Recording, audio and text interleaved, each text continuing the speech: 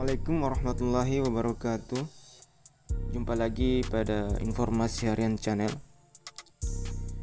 Pada kesempatan ini Kami akan membahas informasi terbaru Mengenai pesan penting Kemendikbud ke guru honorer Jelang pengumuman hasil seleksi kompetensi P3K guru tahap 1 Baik teman-teman Hingga hari ini tanggal 29 September tahun 2021 belum ada kepastian kapan pengumuman hasil seleksi kompetensi P3K guru tahap 1 diumumkan. Kemendikbud Ristek sendiri membatalkan pengumuman kelulusan Jumat 24 September 2021 setelah mengadakan pertemuan dengan Komisi 10 DPR RI.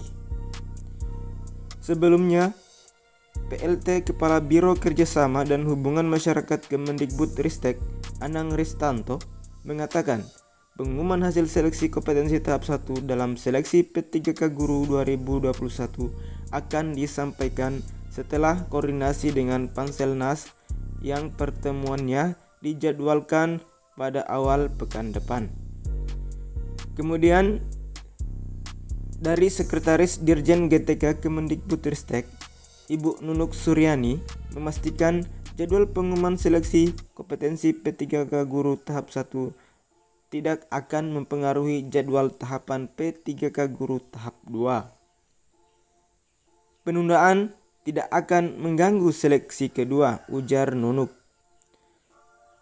Kemudian dikutip dari Instagram Ditjen GTK Kemendikbud, menurut Dirjen GTK Kemendikbudristek Bapak Iwan Syahril, Penundaan pengumuman hasil seleksi kompetensi tahap 1 merupakan kesepakatan bersama dengan Komisi 10 DPR RI yang bertujuan untuk memberi waktu bagi Kemendikbudristek untuk berkoordinasi dengan Panselnas agar memperjuangkan bagi para peserta seleksi ASN P3K.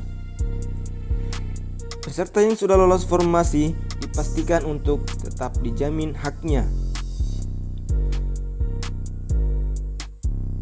Kemudian pesan dari Bapak Iwan Syahril bahwa beliau mengajak guru honorer tetap dapat memfokuskan energi serta berkonsentrasi pada setiap tahapan.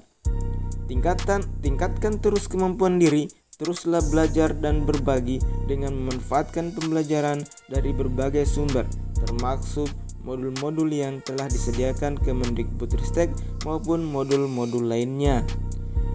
Mari kita bergerak bersama membantu perjuangan para guru honorer, kata Iwan.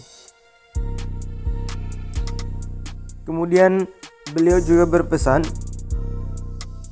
bahwa kami mengajak seluruh guru dan pihak terkait dalam seleksi P3K untuk tetap tenang sembari menunggu pengumuman selanjutnya serta tidak perlu berpengaruh dengan kabar maupun informasi yang tidak jelas dan tidak dapat dipertanggungjawabkan. Tulis Bapak Iwan Syahril.